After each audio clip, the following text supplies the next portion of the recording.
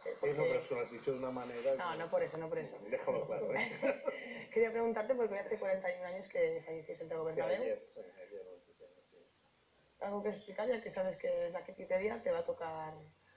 Aquí, aquí... Ya que aquí Zoltan decía que, que los árbitros ayudaban al Madrid, desde, desde Hace, entonces, hace, hace dos años, me parece que un- el año pasado, o la temporada pasada o la otra, hasta le dedicamos algunos rastros a, a- al miserable este, porque, porque es el que donde empezó todo, donde se torció todo en el, en el fútbol español y en el fútbol mundial. ¿no? Es el principal culpable de los desaguisados, de las descompensaciones ah, a nivel de títulos que, que existe tanto en, en Europa como, como en la, con la Liga Española. Bernabéu, bueno. Santiago Bernabéu.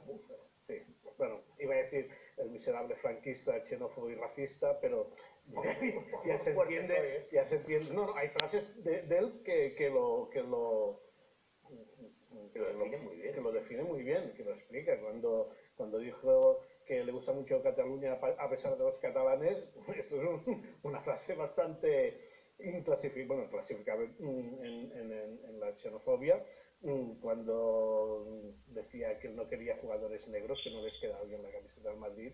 mm, Entonces, un- una declaración racista, sí o no. O sea, y estas están contabilizadas, están absolutamente contrastadas. O sea, que, que allí en, en 1943, cuando él eh, cogió, o lo colocaron ah, al frente de- del Madrid después del, del escandalosa fi- semifinal de Copa del Rey que nos metieron 11-1, a partir de ahí, él creó una junta directiva con militares, políticos, eh, funcionarios de alto rango de, del franquismo y a partir de aquí empezaron a tener los, los favores, empezaron para construir el Bernabéu con unas recalificaciones. Eso, eso, en España, y el que se lo apañó todo en Europa fue Entonces, a, a, finales de, de los 40 es cuando ficha... de Raimundo nada era Raymond, era francés, eh, que huyó de Francia eh, porque era perseguido por, por haberse aliado con los